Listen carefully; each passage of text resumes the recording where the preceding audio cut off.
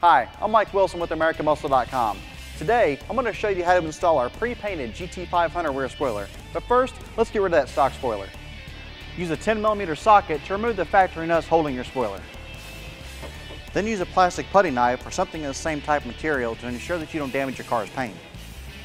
You may have some tape residue left over from the stock spoiler. You'll have to remove that before installing your new spoiler using a quality adhesive remover and a plastic putty knife or something similar to that.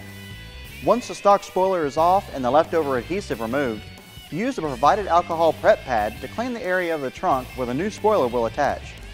Now, remove the backing of the 3M tape on the back of your new spoiler. And take the two foam tabs provided and place them on the back of the spoiler over the threaded inserts. Now it's time to line up your spoiler with the appropriate inserts on your car's trunk. Do not press down firmly on your car as the tape will begin to bond. You want to make sure that both sets of inserts are matched up. Once you've matched the holes up with the threaded inserts in the spoiler, use the supplied Phillips head screws and washers to attach the spoiler. Once the spoiler is securely fastened to the trunk lid, close the trunk and press firmly on the spoiler to make sure the 3M tape has a secure bond.